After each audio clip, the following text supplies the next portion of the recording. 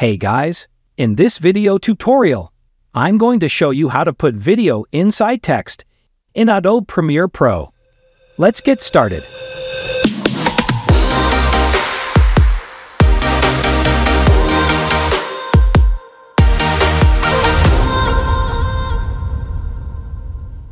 Firstly, we will make sure that our background clip is on the timeline. So select the Type tool from the toolbar, or use the keyboard shortcut T to select the Type tool. After opening the Type tool, the next step is to create a text box. For that, go to the Program window, then left-click and hold and drag to create a text box. Inside the text box, enter your text. I'm entering N-O-V-E-L-A, Novela. Extend the text layer according to our video. Now go to Window and select Essential Graphics. Here, change the font that you want to use. Adjust the scale and position of the title. Go to Window and then Effects.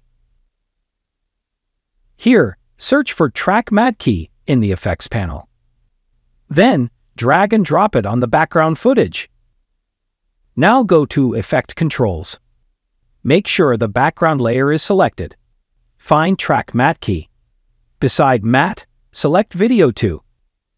As here my text layer is placed on V2 on the timeline. By default, the composite setting uses Matte Alpha. If you have imported graphics that have no alpha channel, use Matte Luma instead. Now let's see how the preview looks. In the description below, you can find a link to Envato Elements, which offers millions of incredible resources to assist you on your video creation journey. Let's say that you want a different color background instead of black. To do this, go to your project panel and right-click inside. Then go to New Item and select Color Matte. The default settings should match your sequence, so just click OK. Then simply select the color you want from the color picker box and click OK. You can give yours a name if you'd like. And there we have added our color matte to the project panel.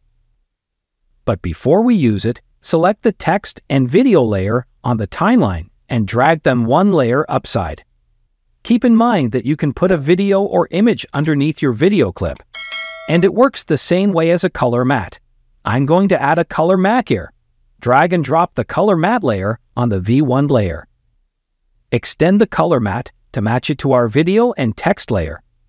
Finally, let's reselect our video clip and go back to Effect Controls, then Track Matte key, and change the matte to V3 as our text is now on V3.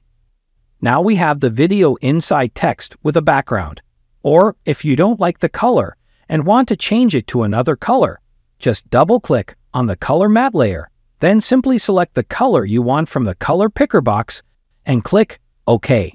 If you want to download project files or any of the assets used in creating this video, you can find the link in the description below.